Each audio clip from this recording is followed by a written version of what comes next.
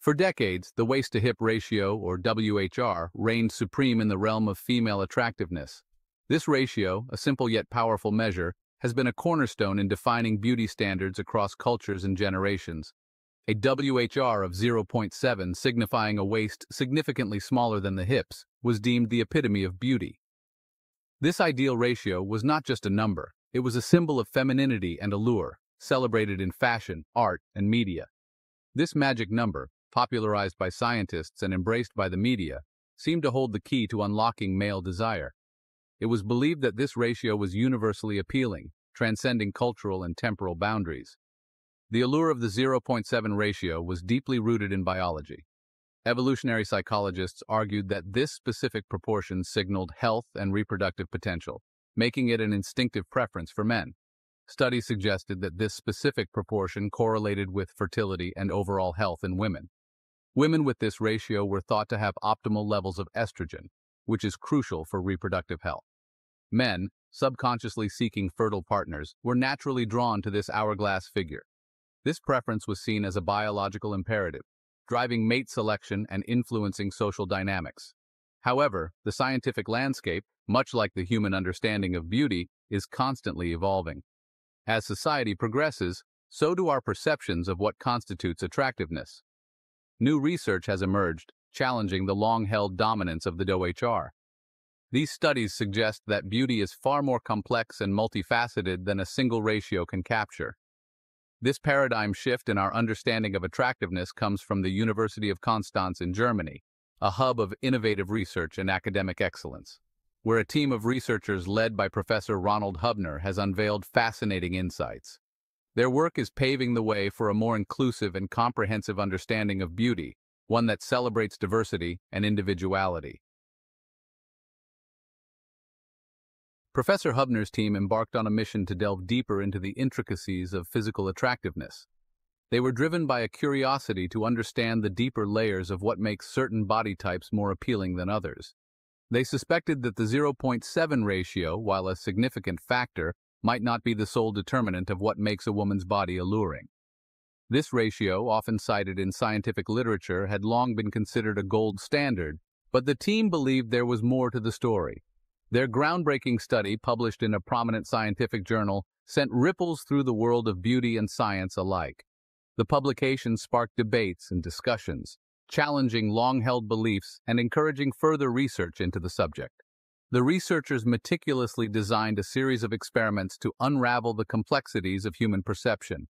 They employed advanced technologies and innovative methodologies to ensure their findings were robust and reliable. Their findings challenged the established notion of the WHR as the ultimate measure of attractiveness. The team discovered that human attraction is far more complex and cannot be boiled down to a single numerical value. Instead, their work revealed a more nuanced and fascinating reality.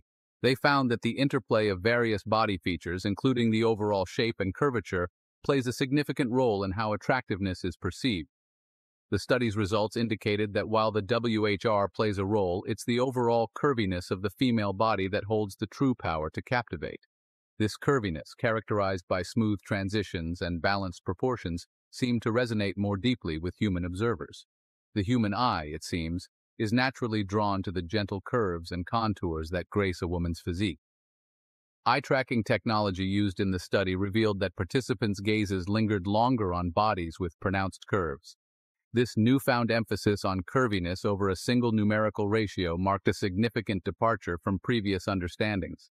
It opened up new avenues for exploring the diverse ways in which beauty can be appreciated and understood, highlighting the importance of embracing a broader perspective on physical attractiveness. Professor Hubner's team identified a specific type of curviness that proved particularly appealing, the S-shaped contour. This sinuous line, flowing gracefully from the chest to the thighs, emerged as a key element of attractiveness.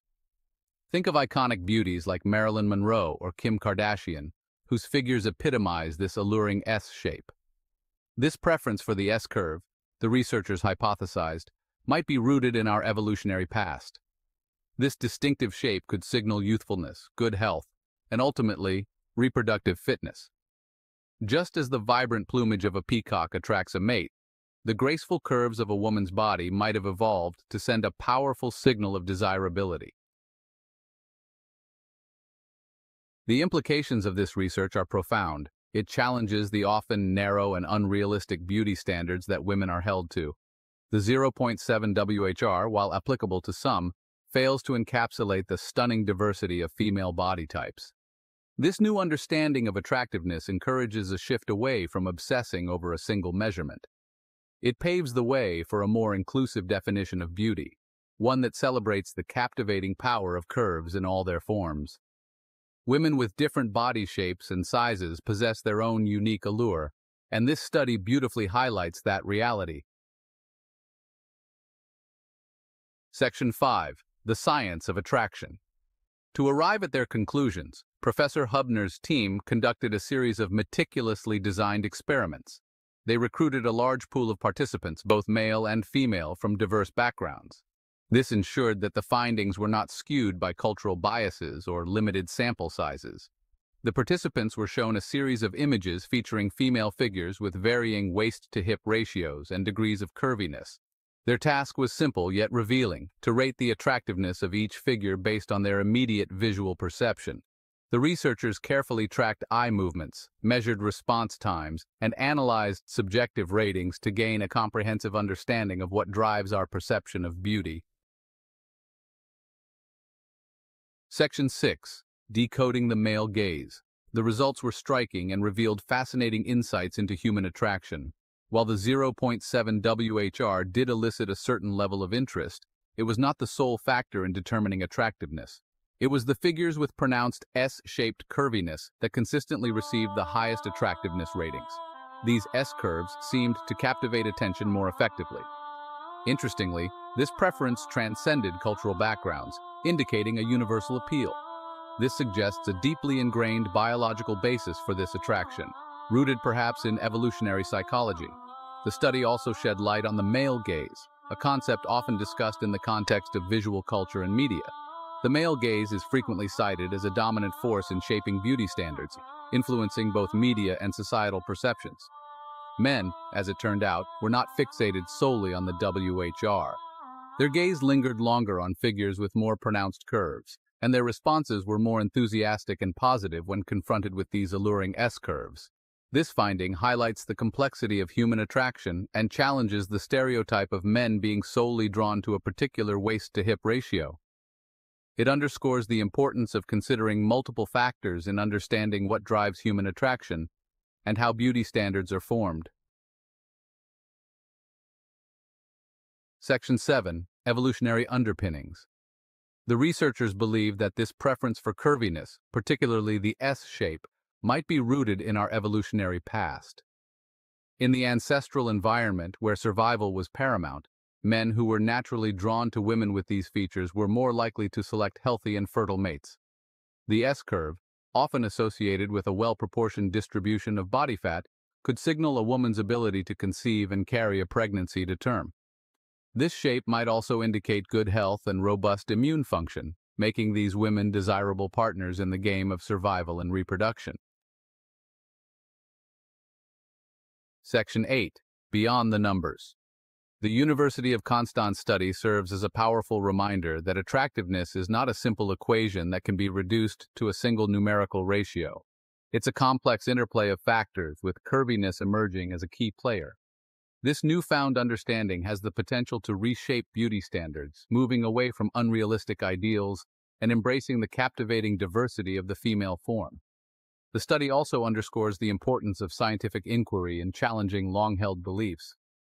By questioning the status quo and delving deeper into the complexities of human perception, we gain a richer and more nuanced understanding of ourselves and the world around us. Section 9 a new era of beauty. As we move forward, it's essential to embrace this more inclusive and scientifically grounded understanding of attractiveness. The 0.7 WHR, while a piece of the puzzle, is not the defining factor. It's the alluring S-curve, the graceful flow of lines, and the captivating power of curves that truly capture the essence of female beauty. Let us celebrate this diversity, challenge outdated norms, and appreciate the stunning tapestry of shapes and sizes that grace the female form. In doing so, We create a world where beauty is not confined to a single measurement, but celebrates